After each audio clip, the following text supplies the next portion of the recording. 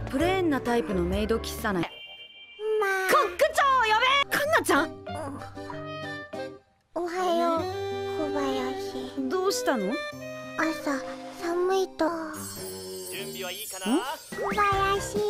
じゃれつかないで。ん。学校ではアイドルが流行ってる、あ来た。